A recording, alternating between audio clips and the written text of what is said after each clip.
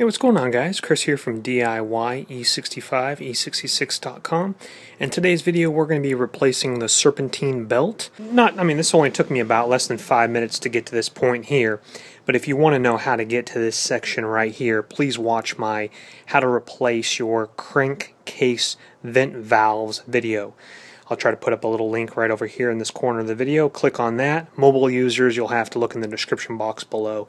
Crankcase vent valves. That'll show you step by step how I got to this portion right here. But this video is going to be about changing the serpentine belt. Go ahead and just uh, fire it up and get started here. First thing we're going to do here is we're going to grab a T55 Torx bit and we're going to grab our breaker bar so we can move that tensioner to the side and pull off the belt. And uh, what I'm going to do here is how to take that off. Um, sorry for the angle here. Um, I can't really get any closer, but right, right where my finger is here, there is a little star, and that is a T55 on the tensioner here. And so I have my breaker bar with my T55 and I'm going to go ahead and insert it in there. I'm going to go ahead and crank it, loosen the tension, and remove the belt. It's always a good idea to take a picture of how the belt is looped around the pulleys and tensioners so that you can put it on exactly the same. So definitely do that. Alright guys, I have my T55 inserted into the slot here, and I'm going to try to get this shot the best I can. It's kind of hard when you don't have a uh, cameraman, but so it's right below the belt is where I insert my star, and you're actually going to be pulling it righty-tighty. So you're going to actually pull your breaker bar, and it's a lot easier with a breaker bar, guys. Just make sure that this doesn't slip out.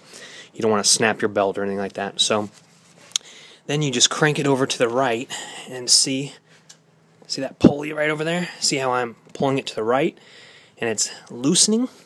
And then what you do is you just once it's loosened, you can go ahead and just take it on off.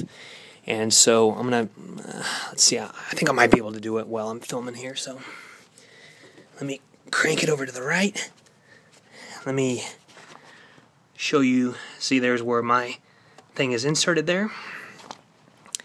All right, and definitely don't get your fingers caught. So be careful, guys. And then loosen the belt on up. And again, be careful uh, with your fingers and whatnot. Okay. Let's see here.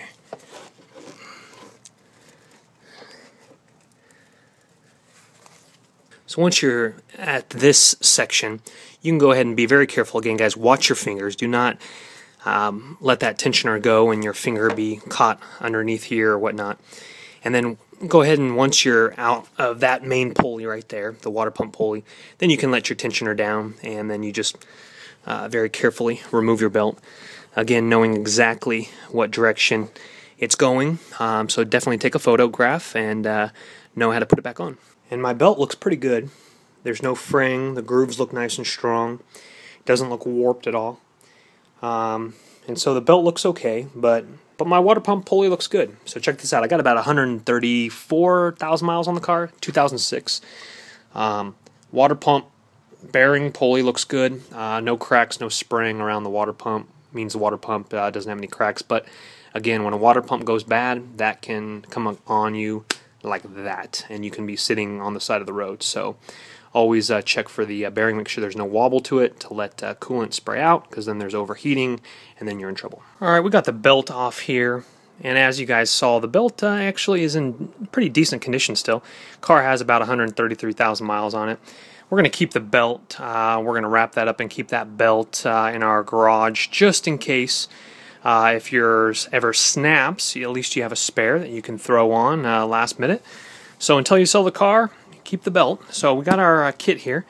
Uh, this one is Con Con iTech Continental. This is uh, your uh, accessory drive kit. You know, you got your pulley, pulley, tensioner, um, AC belt, and serpentine belt in this. And look in the description box below for all your links. Pick this up. It's a great little kit. If not, um, if I can't find this kit, I'll go ahead and list individual uh, uh, ones below in the description box. So check that out. So let's open this on up and let's check it out.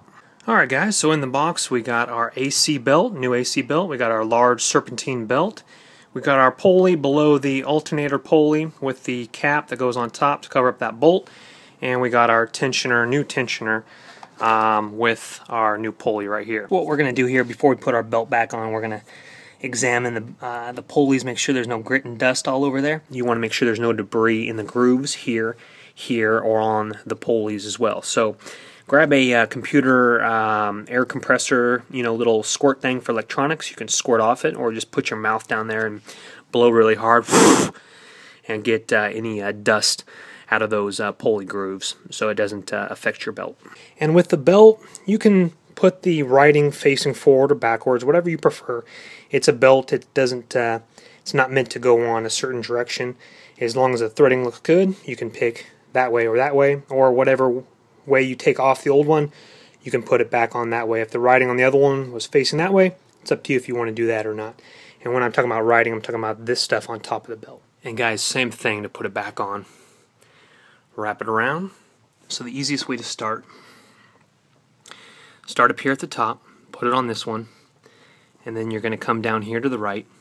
It's going to go around the alternator, and then the smooth side is going to go on the back side of this pulley. Let me get this out of the way here and then it's going to go on the back side, the smooth side of the pulley. Then it's going to go down and around, and to get this part, you're going to have to crank it. You're going to have to crank it back, get the tension slacked on, and then it goes down and around, up through here on this one, groove side, of course, and then it goes around this one with the smooth side, and then around this one with the grooves. And there you go, guys.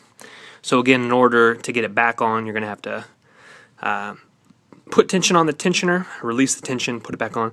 And again, guys, always examine, make sure the teeth of the belt are on.